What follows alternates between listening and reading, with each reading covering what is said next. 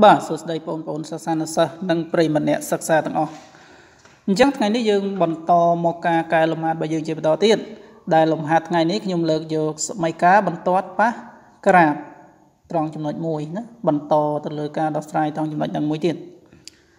អូខេតើអញ្ចឹងយើងកុំឲ្យខាត់ពេលយើងទៅមើលលំហាត់របស់យើងទាំងអស់គ្នាជាលំហាត់របស់យើងគេថារោគសម័យកាលបន្ទាត់ D ដែលប៉ះទៅនឹងក្រាប C តាំងអនុគម y ស្មើ x គីបដក 4x ត្រង់ចំណុច A មានកូដឺណេ1ដក3អឺសំណួរបន្តទៀតគេឲ្យយើងរកកូអឌឺណេចំណុចប្រសពមួយទៀតរវាងបន្ត D និងក្រាប C អូខេតោះអញ្ចឹងដំណោះស្រាយ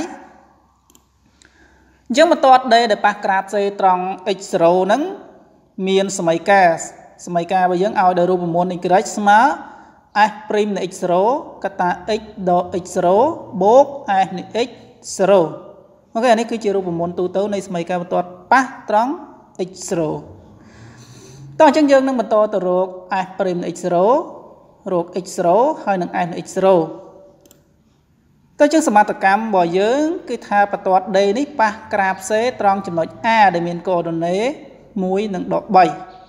អញ្ចឹងបើប៉ះត្រង់ចំណុច A មានកូដនី1ដល់3អញ្ចឹងមានន័យថាបន្ទាត់ D នេះប៉ះក្រាប C ត្រង់ចំណុច x0 ស្មើ1ព្រោះកន្លែងចំណុច A នេះអាប់ស៊ីរបស់វាគឺ1អញ្ចឹងបើអាប់ស៊ី1បានន័យថា x0 របស់យើងគឺ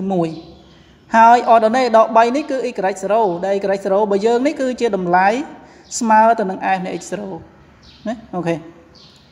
អញ្ចឹងយើងបាន x0 និង s នៃ x0 បាន2 ចឹងយើងនៅខ្វះមួយទៀត s' នៃ x0 អូខេយើងនឹងបន្តទៅរក s' នៃ x0 តើឡើយអនុគមដើមរបស់យើងដែលគេឲ្យគឺ y ស្មើ fx ស្មើ x គីបដក 4x អញ្ចឹងយើងរក s' នៃ x ព្រោះគោលដៅរបស់យើងគឺចង់បាន s' នៃ x0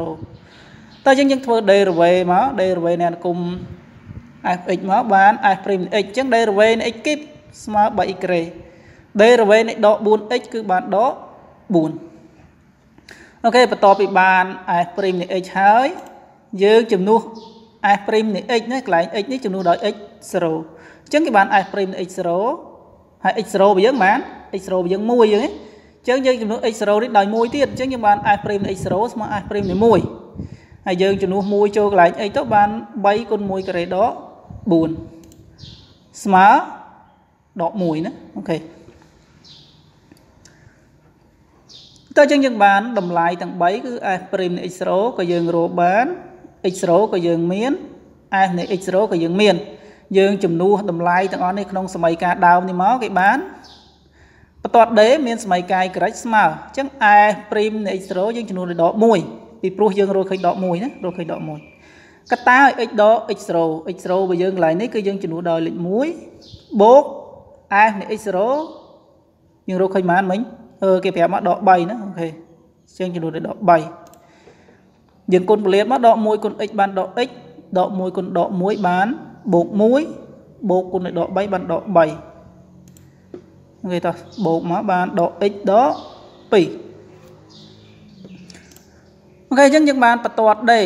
ដែលប៉ះក្រាប C ត្រង់ A ហ្នឹងមានសម័យកាយ grade ស្មើដក x ដក2 OK សំណួរបន្ទាប់ គេឲ្យយើងរកកូអរដោនេចំណុចប្រសពមួយទៀត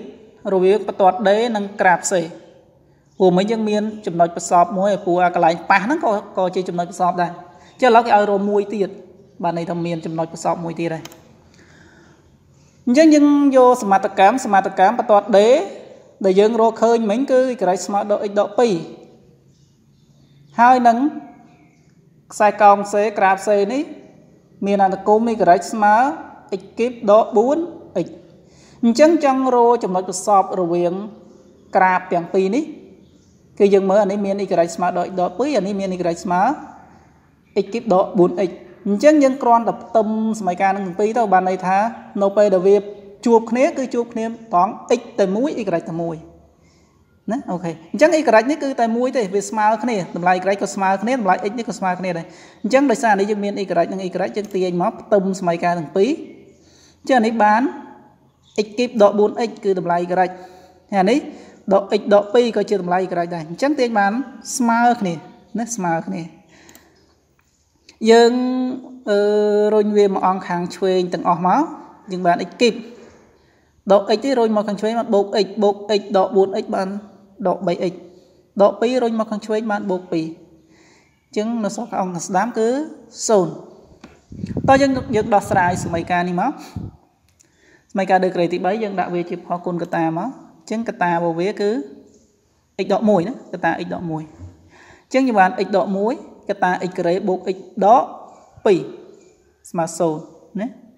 ពី x គីបដក 3x បូក2នេះដាក់មកជាកតាបាន x ដក1កតា x ការ៉េបូក x ដក2អូខេតោះអញ្ចឹងផលគុណនៃ2កតាស្មើ0យើងទាញបានកតា ណាមួយស្មើ0អញ្ចឹងយើងអាចទាញបាន x ដក1ស្មើ0ឬក៏ x ការ៉េបូក x ដក2ស្មើ0ហើយយើងដោះស្រាយស្មីការទាំងពីរនេះមក x ដក1ស្មើ0យើងទាញបាន x ស្មើ1 x ការ៉េបូក x ដក2ស្មើ0អានេះយើងដោះស្រាយស្មីការលើការ៉េទី2តាមផលបូកមេគុណផលបូកមេគុណស្មើ0យើងទាញបានស្មីការមានរឹសងាយ a បូក b បូក c ស្មើ0ណាអញ្ចឹង a នេះ1 b 1បូកចូលគ្នា2 បូកអី c c បត់យើងដក2អញ្ចឹង2ដក2គឺ0អញ្ចឹងបើផលបូកមេគុណនេះស្មើ0យើងទាញបានសមីការមានរឹសងាយគឺ x1 ស្មើ1 x1 ទៀតស្មើ c លើ a ដែលសេបើយើងដក 2a បើយើង1យើងដក2លើ1បានដក2តោះឥឡូវយើងមើលបើសិនជា x ស្មើ1ព្រោះសម័យកាលនេះយើងដោះស្រាយឃើញមានរឹសវា x ស្មើ1និង x ស្មើដក2ឥឡូវយើងជំនួសនៅពេលដែល x ស្មើ1តើ y ស្មើប៉ុន្មាន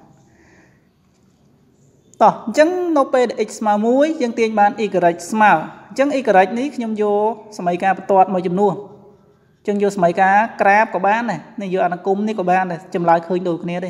ព្រោះជាចំណុចប្រសពបានន័យថាជំនួសក្នុងនេះក៏ដូចជំនួសក្នុងនេះដែរតម្លៃតែមួយគឺអ៊ីក្រិចតើឥឡូវយើងជំនួសក្នុងបតតគឺយកសម័យការអ៊ីក្រិចស្មើដក x ដក2យកមកជំនួសអញ្ចឹងយើងជំនួស x ស្មើ1មកអានេះទៅជាដក1 ដក2ណាដក1ដក2ស្មើដក3មួយទៀតបើសិនជា x ស្មើដក2អាមិញមួយជំនួសហើយឥឡូវជំនួសមួយទៀតគឺដក2អញ្ចឹងយើងយកសមីការបន្ទាត់មកដែលគឺក្រិចស្មើ x នេះយើងជំនួសដក2អញ្ចឹងបានដកកតាយដក2នេះដក2បន្តទៀតអញ្ចឹងដកគុណដកបានបូកបូក2ដក2គឺ0 អូខេអញ្ចឹងអានេះយើងមានចំណុចនេះចំណុចប្រសពរបស់វាគឺ2អា1 x1 y ដក3ដែល x1 y ដក3ហ្នឹងគឺយើងគេឲ្យស្រាប់ហើយដែលប្រធានរបស់យើងគេថាប៉ះតង់ x1 y ដក3ចំណុច a អូខេអញ្ចឹងអ្វីដែលគេចង់បានគេចង់បានអាមួយទៀតឯងកន្លែង x ដក2ហើយនៅ y 0ចឹងនេះទៅចំណុចដែលគេចង់បានអញ្ចឹងយើងគ្រាន់តែឆ្លើយឆ្លើយយកក្រោមមកឆ្លើយចំណុចសល់មួយទៀតរវាងបន្ទាត់ D និងក្រាប C គឺចំណុច ដែលមាន coordinate ដក2 0អូខេជាចំណុចផ្សំមួយទៀតអូខេតោះអញ្ចឹងយើងអស់ហើយយើងបញ្ចប់តែប៉ុណ្្នឹងហើយចំពោះវីដេអូផ្សេងផ្សេងទៀតហ្នឹងយើងអាចចុចនៅក្នុង link description ខាងក្រោមវីដេអូនេះអញ្ចឹងយើងអាចមើលវីដេអូផ្សេងផ្សេងទៀតតាក់ទងជាមួយនឹងអឺ